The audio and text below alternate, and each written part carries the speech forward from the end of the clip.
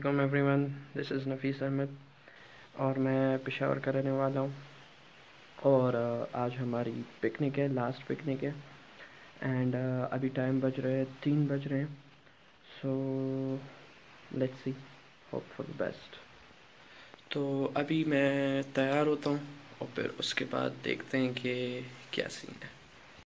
Excitement بہت زیادہ تھی تو تھوڑا جلدی پہنچ گئے اسکول۔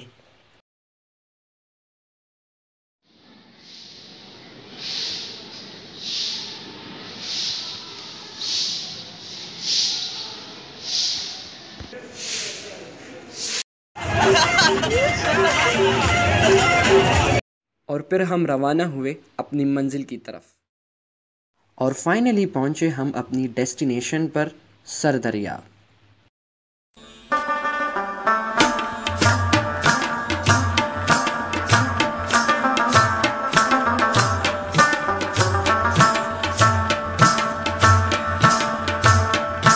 سو بیسکلی یہ جگہ سردریاب ہے، چار سدہ سائڈ پہ۔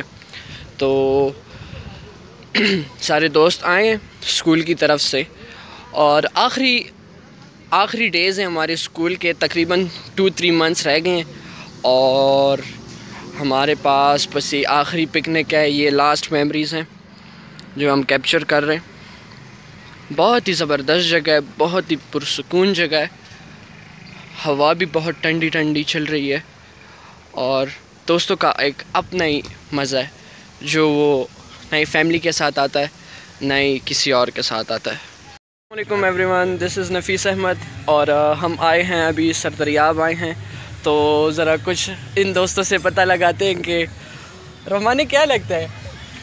مزہ ہے یا نہیں ہاں مزہ تو آ رہا ہے آج کل۔ کچھ کھانا کھائے یا نہیں؟ ہاں کھانا بھی کھائے ہم لوگوں نے۔ اچھا۔ اور ذرا روم میں تو بناتا ہوں تو میرے سے مویز؟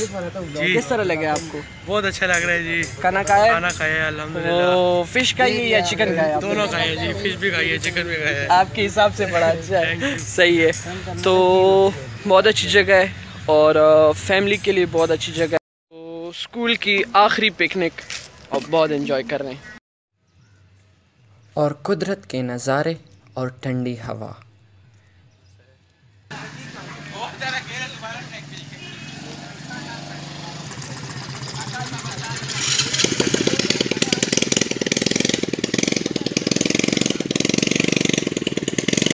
یہ صبح، یہ قدرت اور یہ دوستوں کا محفل کبھی بھی نہیں بلا پاؤں گا میں۔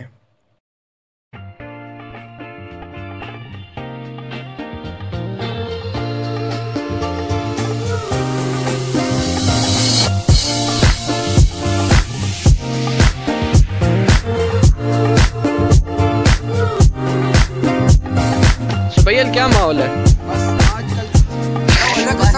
ہم لوگ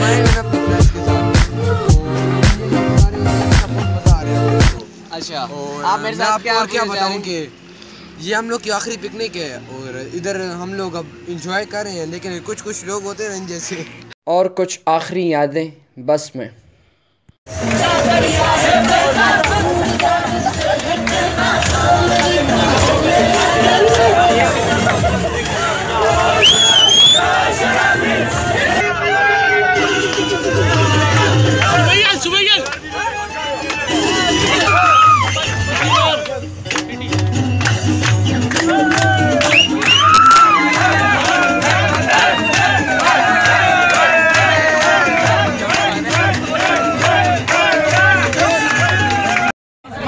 یہ کھول دے یہ بول